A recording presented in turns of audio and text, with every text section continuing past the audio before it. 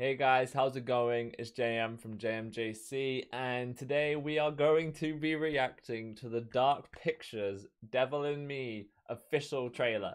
Honestly, I'm so excited for this. I, I haven't played House of Ashes, and I do need to get round to doing it, but this is supposed to be the fourth installment now, and I think, if I remember rightly, this was going to be the final installment that they were doing.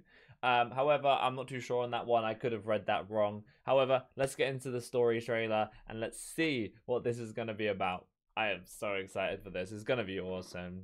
Like, most of their games have been so good. Oh, we got some flashbacks. A Dark Pictures Anthology. Devil in Me. Okay, it didn't come up with it. Lonnit Entertainment. Oh, Charles Lonnit, please. Speaking. Name is Granthem Du'Met. I'm in a privileged position. is this What like a we know about this hotel? He's rich, he's a recluse, he's obsessed with H.H. Holmes. Totally sane, I'm sure. I think it, it is. Some of the A hotel's are a full dive. Oh, we've got a hotel setting. Is that you? Oh, this is gonna be good. footage to be had here. Oh, no way. My time is at a premium.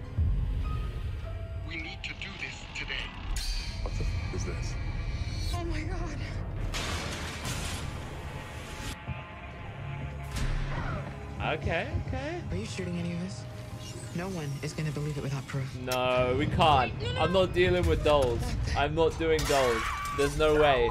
I am not dealing with dolls. What happened? What the? What the hell? What in the saw is this? Booby trap. Are we getting some sort of saw? What? I've told you what I have. Please don't waste my time. Holy crap.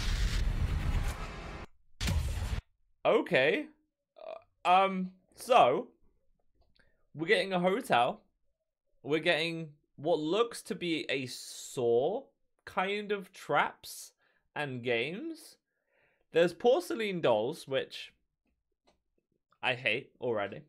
And I think I just saw the narrator. Uh was it where was it? Was it just before was it here?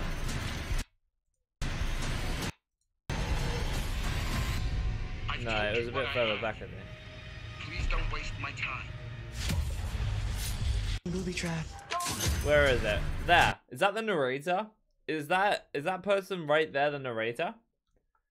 But or is it that guy? Um, but it looks like we've got some really, really cool like games that we're gonna be playing. There's some trap doors, these dolls.